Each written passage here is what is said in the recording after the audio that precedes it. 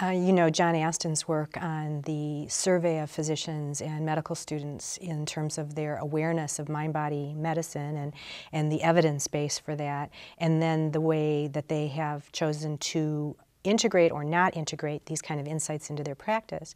And the surprising thing was that there's a, a pretty good awareness of the nature of the evidence, and yet a very small number of people who are actually beginning to integrate these principles into their practice. Why is that? Why would you say from your own experience? Well, there, there are many, many answers to that question. Um, first, the amount of information taught in medical school is overwhelmingly large. So what you choose to bring into your practice after graduation is really a conscious choice. You don't, you can't do everything that you learn. You often do what your group does. So if you join a group of physicians, you're going to mimic their behaviors. That's one reason. The other reason is that some of the alternative or, or um, integrative medicine practices are outside the scope of the philosophy of allopathic medicine. What I mean by that is allopathic medicine being having a lot of density, a lot of information, um, is very limited in the way you think. And let me compare that now to uh, Ayurvedic medicine, for instance. Um, in Ayurvedic medicine, it's a very different philosophy. You're using natural products. You're working with the earth, if you will. Meditation and consciousness are really the core of Ayurveda. That's a completely different philosophical construct than allopathic medicine.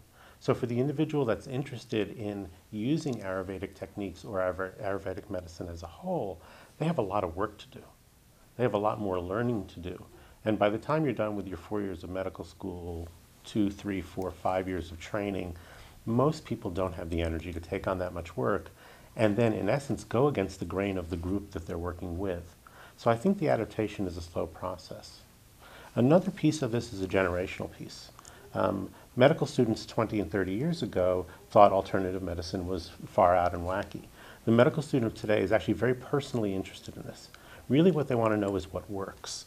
And if you look at that, um, even in the medical schools that are not teaching alternative practices, there are alternative or integrative medicine clubs that form. The students form these, these interest clubs, if you will, and they bring speakers in. So there is a core interest, and it's growing. And as I mentioned, it really is a generational shift. The new generation of physicians will be doing more and more of these, these, these practices. And as they walk into groups to begin their clinical lives, uh, they'll be surrounded by people doing more and more of these practices. It's just going to take time. The best way to build um, an integral or whole person approach is to make it clearly applicable so that the patient understands that it has value for them. One thing that comes to mind for me is uh, a fellow who was current, he's currently 92 years old, who has been in our heart program since the mid 80s. Uh, die-hard, rigid, um, Germanic fellow who will only do what's right and only do it when he wants to, and he's very dogmatic about things. And he learned a yoga practice back in 1986 that he still practices today on a daily basis for an hour and 15 minutes exactly. Did he do that because he wanted to become more conscious? No. He did it because he didn't want to die of another heart attack. He had had four heart attacks at that point and a bypass and a few angioplasties and just didn't want to go through that anymore. So his goal was not to gain consciousness, it was to not die of heart disease. However, has he become more conscious? Absolutely. He's now writing children's books and he's very playful and even in his 90s, hyper energetic, still hiking, loving the world, loving nature.